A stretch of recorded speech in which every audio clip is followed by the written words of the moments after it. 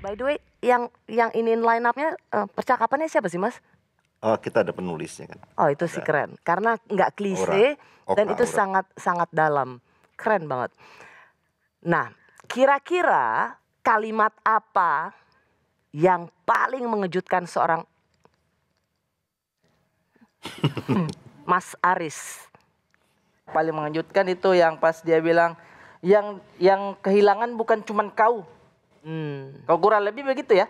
ya. Oh, saya lihat oh ada sisi laki-lakinya juga nih, ada sisi suami yang bertanggung jawabnya juga. nih. Eh, setuju? Eh, saya sudah panjang-panjang ngobrol loh tadi. Tapi saya bisa minta tolong satu kali saja. Ini untuk yang selalu DM ini ibu-ibu mohon maaf, ini perwakilan kakak saya. Dia minta dicubit sedikit. Ah, sudah ya. Jangan DM-DM lain-lain lagi ya. Mohon maaf ya. Sudah, selesai ya. ya. Apa? Coba, eh, Lola, apa kalimat dari Mas Aris yang menurut kamu tuh ah yes, this is it?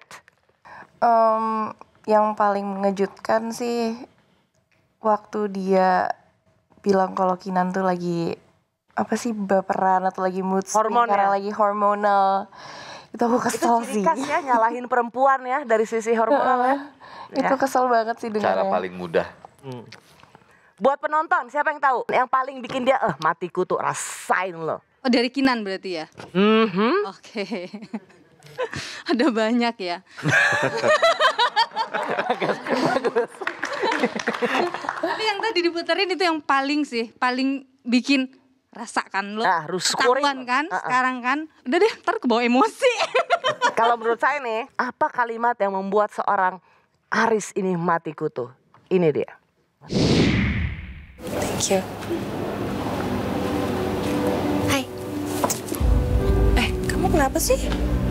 Kamu bisa tahu aku di sini? Mbak, Kan kamu yang ngajakin aku ke sini. Kamu kenapa sih? nggak ngajakin kamu ke sini. Hah? Ya Selamat malam.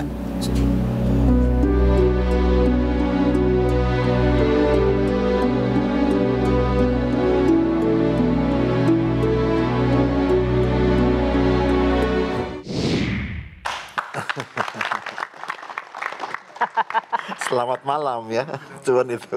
Cuman itu. Selamat malam. Selamat malam. Selamat malam. Simple ya. Saya mau pulang itu langsung rasanya nonton itu langsung kayak Di scene ini bener-bener seorang Aris mati kutu bener ya? itu mati kutu. Mati kutu. Udah nggak bisa ya nggak bisa berkutik gitu. Eh, bener-bener ya mati kutu sih. Ya. Dan Kakmat. Skakmat dan dan Kinan dibikin dandan gitu kan dengan Ya. lipstick merah, cantik, bajunya bagus, sepatunya bagus. Cuman gini aja, selamat malam. Hati-hati para suami kalau istri-istri bilang selamat malam. Kompas pernah bikin survei nggak? Istri itu sebenarnya kalau mau jujur ya jangan kata-kata karena perempuan tidak tentang yang dikatakan, perempuan selalu tentang yang tak terucap. Kamu suka laki-laki suamimu lurus atau belok-belok?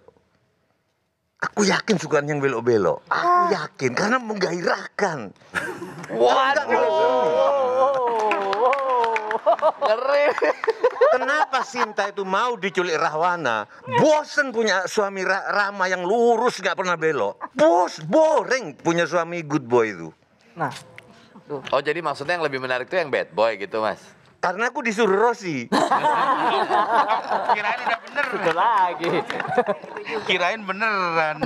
Kirain ber- mau berguru ya? Regen ya? Iya. Saya mau nungguin hasil surveinya tuh bener. Kalau ada sisi dua, Iya. ada Aris tua, Iya. mbok pemerannya itu aku. Oke, Pak.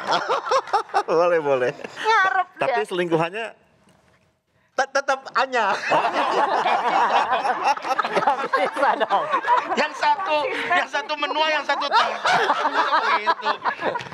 Enak di dia ya? Iya makanya. Enak di dia nggak enak di Anya ya? Makanya.